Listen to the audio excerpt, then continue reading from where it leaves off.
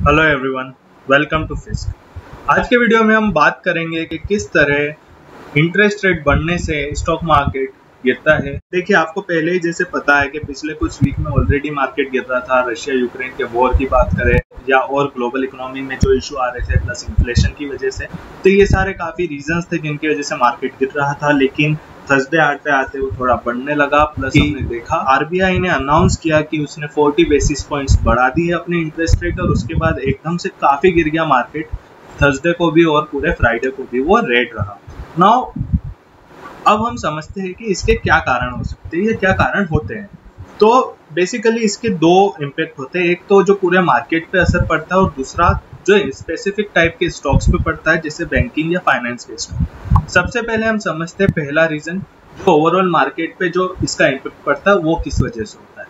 तो उसका सबसे बड़ा रीजन होता है एक कि इंटरेस्ट रेट बढ़ने से जितने भी फिक्स्ड इनकम इंस्ट्रूमेंट होते हैं या फिक्स्ड इनकम के मार्केट होते हैं, जैसे बॉन्ड मार्केट है मनी मार्केट है, या एफ़ का जो मार्केट है, ये सारे अपने आप में काफ़ी अट्रैक्टिव हो जाते हैं। क्योंकि आपको ज़्यादा इंटरेस्ट यानी ज़्यादा रिटर्न मिलने लगता है उन सब इंस्ट्रूमेंट से। इतना ज़्यादा लॉन्ग टर्म का इंस्ट्रूमेंट होता है डेट में या बॉन्ड में, उतना ज़्यादा अट्रैक्टिव वो हो जाता है इंटरेस्ट रेट बढ़ने से। तो इसका मैं आपको एक एग्ज़ाम्पल जैसे बताता हूँ। सबसे पहले तो एक बॉन्ड है जैसे, जिसकी फेस वैल्यू है वन थाउज़ेंड रुपीज़ यानी कि जब वो टर्मिनल वैल्यू यानी एंड में जब हमें पूरा पैसा इसका वापस मिलेगा रिटर्न में तो वो वन थाउज़ेंड रुपीज़ होगा।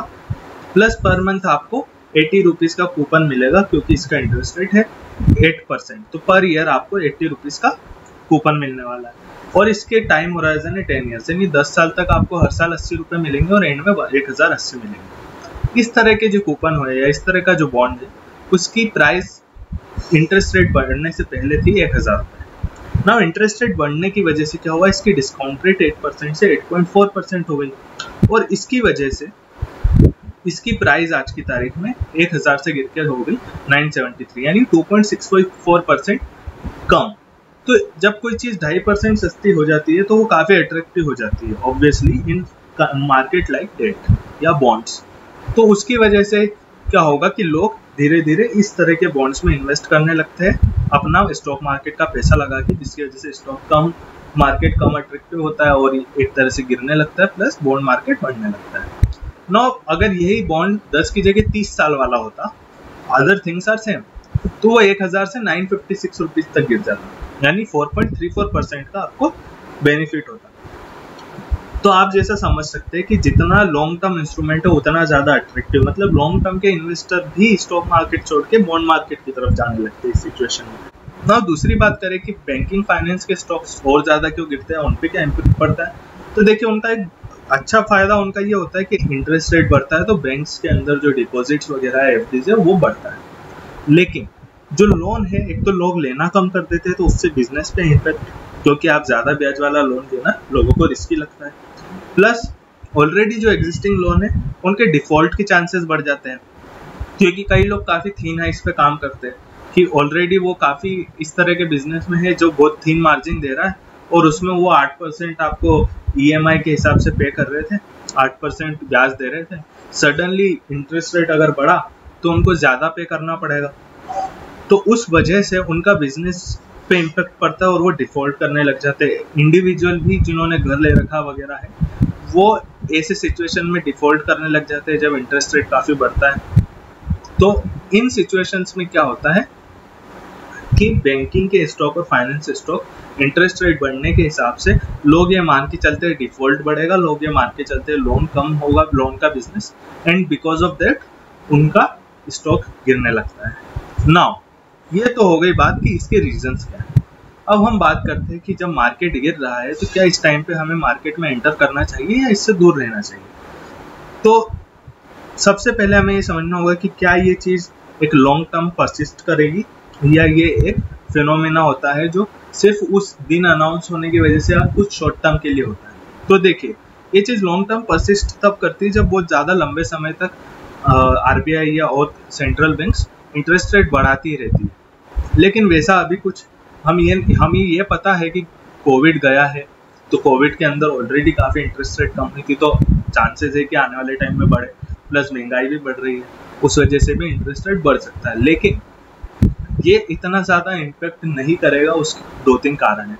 एक तो ऑलरेडी आरबीआई भी पहले काफ़ी सख्त था और पहले से बैंक्स भी काफ़ी ज़्यादा सख्त हुए तो इसकी वजह से क्या हुआ है कि लोन काफ़ी स्क्रूटनी के बाद दिए जाने लगे, जिससे ये चांसेस कम है कि डिफ़ॉल्ट बढ़ेंगे। प्लस सेकेंड चीज़ ये है कि ऑलरेडी जो कंपनीज़ है कोविड के बाद के एरा में आ चुकी है तो अब जो मार्केट और इकोनॉमी एक तरह से ग्रो कर रही है, उसकी वजह से ये चांसेस कम है कि कोई बिज़नेस इस पे इस ये चांसेस कम है कि बिजनेसेस पे इसका नेगेटिव इम्पेक्ट पड़ेगा बिकॉज़ वो ओवरऑल ग्रोथ उनकी काफ़ी अच्छी होगी तो उस वजह से वो भी डिफ़ॉल्ट करने के उनके भी चांसेस कम है।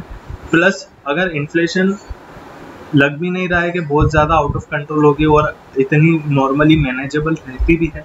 तो अगर इतना ज़्यादा इन्फ्लेशन नहीं बढ़ा, इतना ज़्यादा इकोनॉमी में इशू नहीं रहा तो हो सकता है आरबीआई बहुत ज़्यादा रेट ना बढ़ा मार्केट पे हमें नहीं लगता कि इतना ज़्यादा इम्पेक्ट पड़ेगा एंड बिकॉज़ ऑफ़ दैट क्योंकि आने वाले टाइम में स्टॉक्स और ग्रो कर सकते हैं, और इकोनॉमी ग्रो कर सकती है तो डेफिनेटली स्टॉक मार्केट की जो वैल्यू है वो बढ़ेगी। तो ऐसे समय में जो लॉन्ग टर्म इन्वेस्टर होते हैं, जो इंट्रेंसिक वैल्यू को देख के इन्वेस्ट करते हैं स्टॉक के फंडामेंटल्स को देख के इन्वेस्ट करते हैं और माइक्रो इकोनॉमी पे इतना ज़्यादा फोकस नहीं करते, उनके लिए काफ़ी अच्छा टाइम हो जाता है मार्केट में एंटर करने का। सो हमारा सजेशन ये है कि ऐसे टाइम में आप डेफिनेटली ज़्यादा से ज़्यादा इन्वेस्ट करें और अपने एक, सस्ते में मिल रहे अच्छे स्टॉक्स को डेफिनेटली बाय करें लॉन्ग टर्म के लिए। सो so, इस वीडियो में इतना ही था फ्रेंड्स अगर ये वीडियो आपको अच्छा लगा तो प्लीज़ हमें कमेंट करके बताएँ और इस वीडियो को लाइक करें।